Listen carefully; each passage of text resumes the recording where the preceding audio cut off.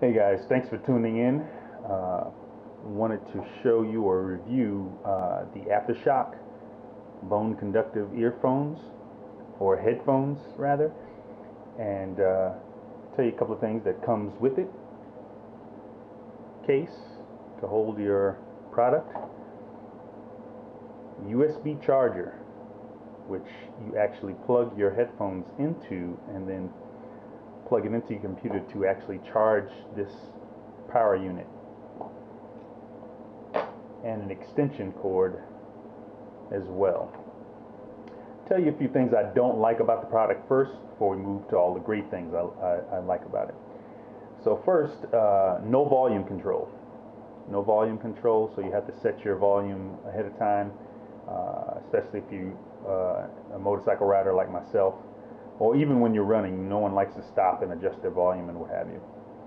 The only other thing I don't like are the the ends, the connections here uh, are a bit flimsy, uh, so um, I'm gonna I'm gonna have to fortify them with some Sugru uh, form and fix stuff, and I'll tell you about that in another review uh, later on.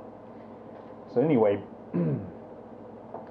back to the the great things now that I like about this. So I'm of course an avid runner, uh, ride a motorcycle, I ride I ride a mountain bike, uh, you know I rollerblade, I do a lot of skateboard. So a lot of these things I love to listen to my music as well. So um, the one thing I hate is uh, the earbuds that go in your ear that have to be stuffed in your ear. It's very annoying to me. So I'm probably in the very small percentage considering the market is flooded with a lot of in-ear earbuds. So I guess most people like that. In any event, uh, these of course go right, sit right over your ear and in front.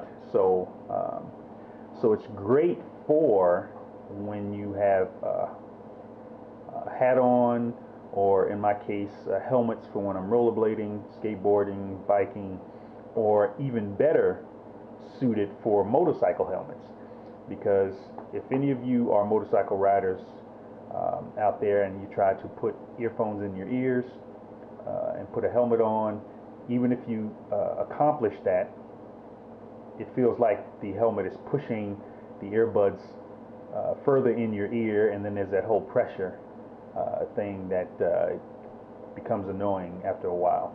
Uh, so with these, the sound quality remains the same, and you get you don't get the discomfort from uh, uh, and also of course legally we're not supposed to have any music playing in our ears because we need to hear everything around us.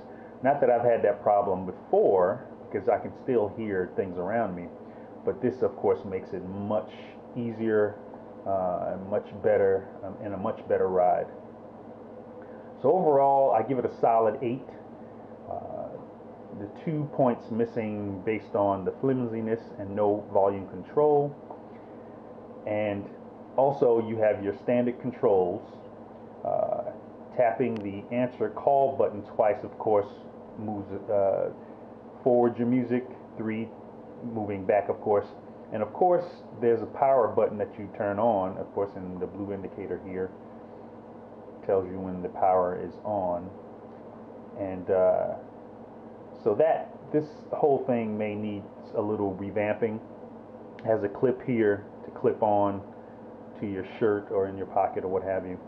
Uh, but otherwise, uh, I've been trying it out. I've run with it.